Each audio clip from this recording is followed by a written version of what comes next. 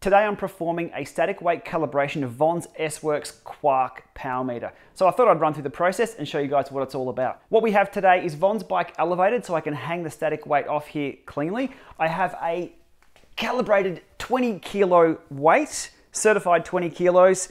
It's very heavy and the mounting hardware is 23 grams so that factors into the calculations as well. And I'm running the Qalvin app up here on the laptop as well with an ANT stick in the side. The power meter is only an ant, it's a few years old now, and that's why we're having to recalibrate it to see if it's still spot on. So what we're gonna run through today is the static weight calibration. This is not a zero offset, this is actually a recalibration of the power meter to make sure it's spot on. We'll run through that, we'll see if Von's or watts are high or low or spot on, and then we'll keep it honest on the Tacx Neo. Okay, let's get stuck into it. The beauty of this is there's some simple mathematics behind the scenes that we can use to verify what we're seeing is correct. The mathematics are the crank length, so 170 mil, the weight itself I've got down here, which is 20.023 kilos, and we have to factor in gravity as well, which is 9.81. So putting all that together, 20.023 times 9.81 times 0.170 for the crank length in meters comes out and gives us a theoretical weight that we should be seeing right here, maximum force of 33.392 Newton meters. That's the value the Qalvin app will be using to verify whether the power meter is reading high or low and adjusting the slope according to that. Okay, now onto the process. Von's power meter has an ANT ID of 16184, so we need to search for that within the utility here. We hit connect,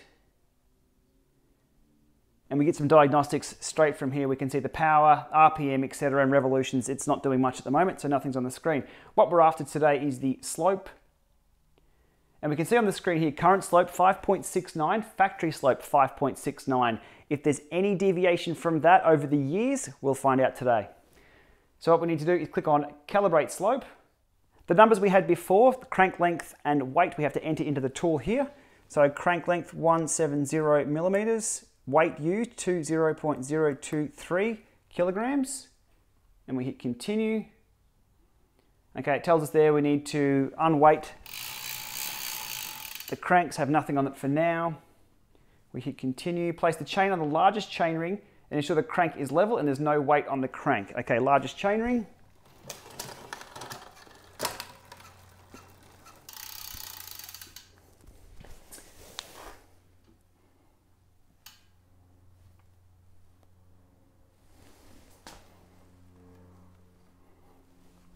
Okay, that's stable take the reading. Then now there's zero torque on the cranks at the moment.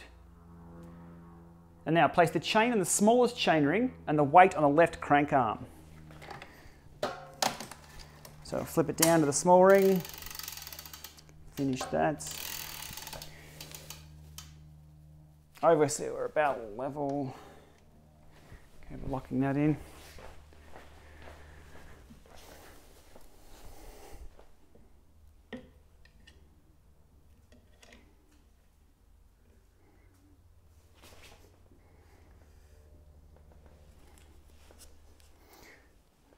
Make sure everything's stable and the bike is still horizontal. That's as stable as it's going to be. Make sure that crank is horizontal. Pull it down a little bit. Lock it in. To lock this in place, I've adjusted the back brake so we can use the quick release of the back to lock the wheel so it doesn't move. So everything nice and still. The theoretical numbers we had here was 33.392. The first reading we have is 33.9 and it's floating around 0.92 point. Very close, not quite the same though. So let's hit take reading on that. Okay, same reading, but from the other crank arm.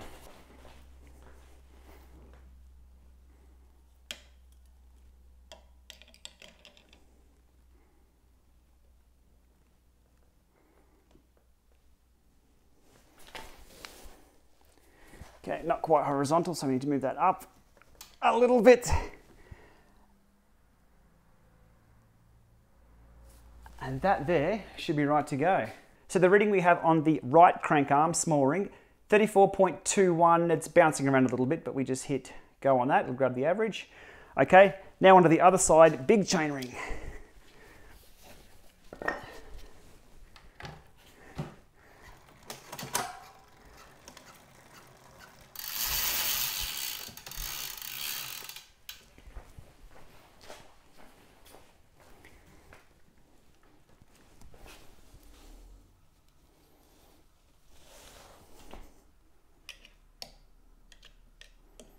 Okay, it's important that weight is still and the bike is still horizontal as well.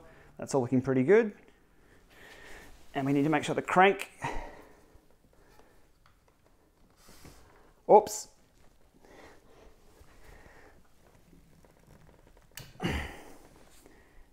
is horizontal for that reading. Okay, spot on. 33.59 on that reading. And the last measurement with the weight, same again, ah, the crank. We'll just zero all that out.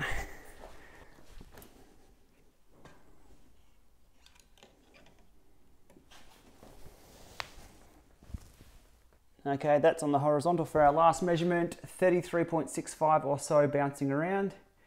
We hit take reading on that. Remove the weight. Final steps. There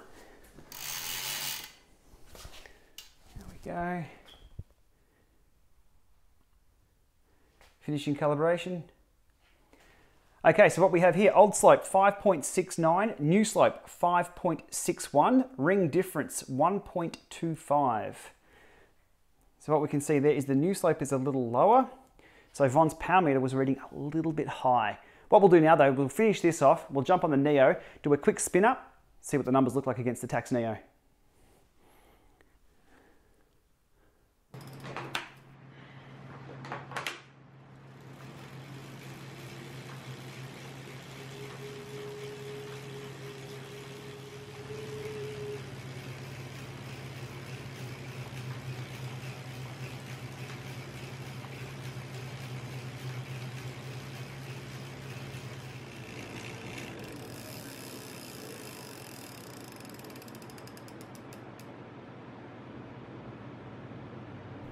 Jumping over now to DC Rainmaker's analysis tool to have a look at the three and a half minute step test I performed there in erg mode on the Tacx Neo. Uh, what we can see here, happy days. From the 100 watts stepping up to around 150 watts, 200 watts, and as we step up further and further, you can see the Quarq. I guess the only real nitpick there is the Quarq is probably a little bit quicker to change those watts given where it's measuring power. But from then, it's only a few watts different. So happy days. Calibration process looks to be good and we're good to go with that. Von's now going to get the correct power for the rest of her Festive 500. As mentioned previously, this is an older model Quarq, so it's ANT Plus only, no Bluetooth, but it's a few years old, it's going along quite well. With that recalibration, hopefully we'll get a few more years out of that. Okay, thanks for watching, we'll see you soon.